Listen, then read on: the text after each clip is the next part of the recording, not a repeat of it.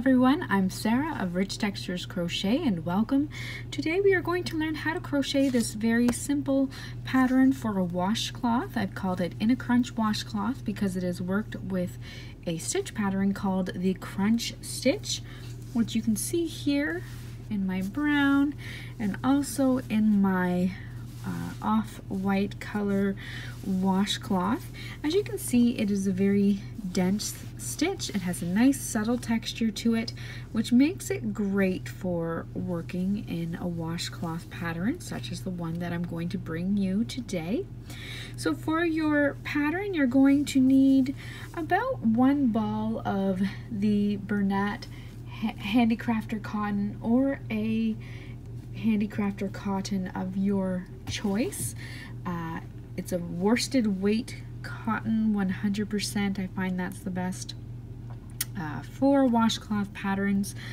Um, you're going to need about 60 to 70 yards for your washcloths. Now I used three different color balls of the Bernat Handicrafter and I made all three washcloths using the three balls.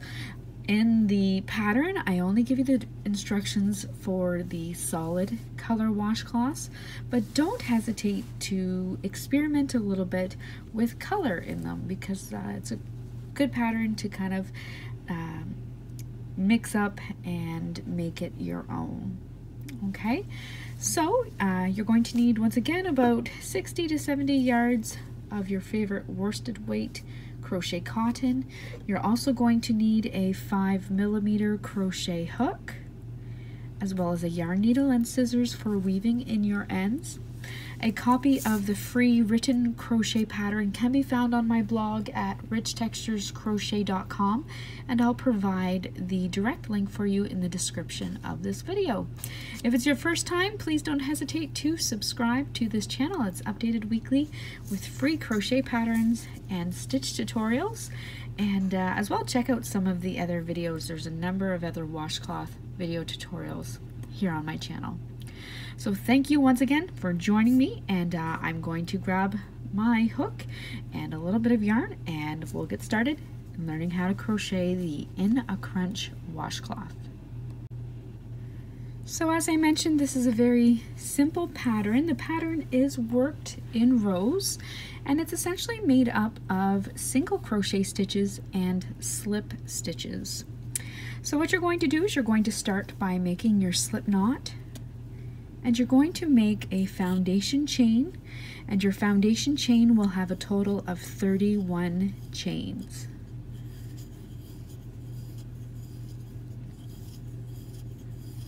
There's 12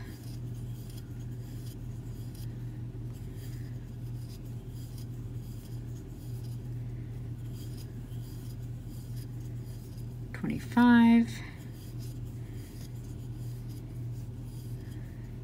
30 and 31. Uh, just so you know, in the tutorial today I'm going to be using the Blue Jean Handicrafter Cotton. In my crochet pattern in the photos and that here I have used a soft brown, an off-white, and a blueberry color, all Bernat Handicrafter cotton, in case you are wondering which colors I used in mine. But again, use any colors your heart desires. So after you've worked 31 chain stitches for your foundation chain, you're going to start in the second chain from your hook, so one, two, and into that second chain you're going to work a single crochet stitch. Into the next chain, you're going to work a slip stitch. You're now going to repeat that all the way across. Single crochet into the next stitch, slip stitch, into the next. You're going to continue that all the way across and you're going to finish by working a slip stitch into your final chain. So single crochet, slip stitch in each chain all the way across, ending with that slip stitch.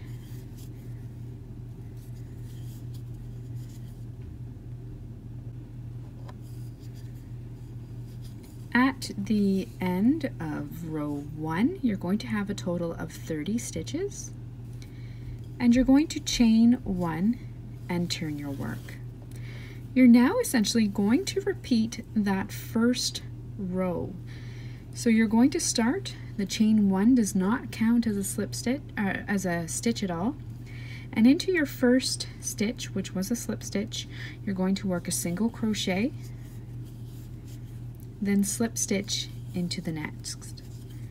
So it's exactly the same as the row below. You're going to repeat that all the way across. Single crochet, slip stitch, single crochet, slip stitch. You're going to end with a slip stitch in your final stitch, chain one, and turn your work.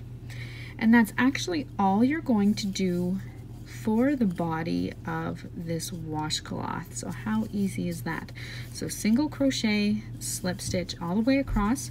You're going to work about 40 rows of that uh, or work until your washcloth reaches its desired length. If you wanted to make this washcloth larger or smaller, you're going to add or subtract multiples of two to your foundation chain and that will allow you to adjust the width of it. So you're going to continue that row, single crochet, slip stitch, repeat that all the way across, chain one, turn your work and continue. And uh, you're going to do that for about 40 rows.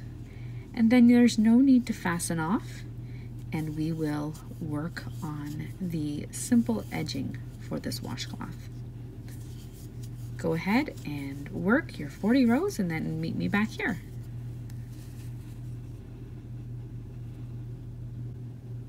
So once you've worked your 40 rows, you're going to have a piece that looks like this. You can see that crunch stitch texture coming through. We're now going to work a simple edging around our washcloth just to kind of finish it off. I said there was no need to fasten off at the end of this row. What you're going to do is you're simply going to chain one and turn your work.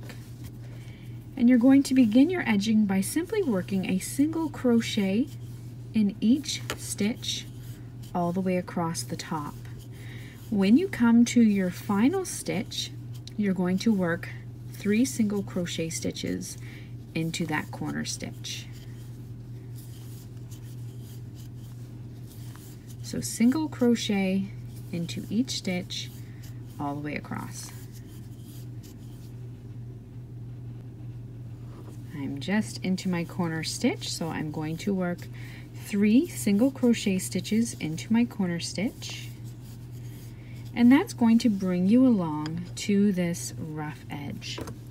Along the rough edge, you're going to evenly work 20 single crochet stitches across. Now you can adjust this number. Just remember that whatever you do along the one rough side, you're going to do the same along the opposite side. So if you'd like, you can adjust that number. It's really up to you. For me, what sometimes helps if I'm having trouble keeping my stitches even, place a stitch marker in the middle of your work and then that uh, you can then place half your stitches on one side, half your stitches on the other. So um, to work along the side, I'm just uh, evenly placing my hook across. There's no uh, easy stitches to work into. You're just working stitches evenly along the side of your washcloth. So you're going to work 20 stitches along the rough edge. When you come to your next corner, you're going to work three stitches, work all the way across the bottom of your washcloth, single crochet in each stitch, three stitches in your corner, 20 more single crochet along that other rough side, two stitches in your final corner and join with a slip stitch in your first stitch. And that's all there is to working this in a crunch washcloth. So thank you so much for joining me and uh, until next time, happy crocheting. Bye.